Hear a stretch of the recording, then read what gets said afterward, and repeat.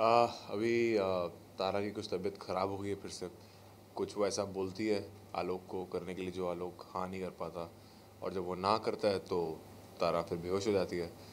क्योंकि जैसा कि पहले एपिसोड्स में हमने देखा कि डॉक्टर्स ने कहा था कि जो भी वो बोले आपको हाँ करनी है वरना कुछ भी हो सकता है। तो अभी तारा की तबीयत ख़राब है और अब देखते हैं कि आलोक उस चीज़ को हाँ बोलता है नहीं बोलता जो तारा चाहती है करने के लिए। ओके तो आलोक मान जाएँगे तारा की बात? आ, कोई ऑप्शन नहीं है। बीवी जो बोले वो मानना तो पड़ता ही है। तो और वो भी जब दो दो बीवी हों तो दोनों की बात माननी पड़ती है। तो आलोक अभी सैंडविच बन चुका बीच में दोनों के बीच में। और दोनों बीवियों को खुश करने के चक्कर में वो खुद बेचारा पिसता जा रहा है। ओके आगे क्या होगा? क्रिसमस पार्टी भी चल रही है। क्रिसमस पार्टी का अभी हम शूट करने जा रहे हैं। आ, कोई सांता क्लॉज बन के आता है? कौन बन के आता है? पता नहीं। एक हैं दो हैं तीन हैं कितने सांता क्लॉज हैं हमें ये भी नहीं पता।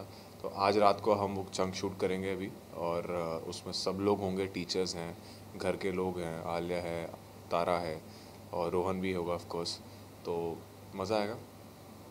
ओके लास्टली अपने व्यूअर्स को क्या बोलना चाहेंगे आ, अब हमारा टाइम चेंज हो गया सात बजे जैसा कि आप सब जानते हैं मंडे टू फ्राइडे और हम रेटिंग्स भी इम्प्रूव कर रहे हैं। तो आप लोग ज़रूर देखिए सात बजे तेरह को Aaliya and enjoy the show thank you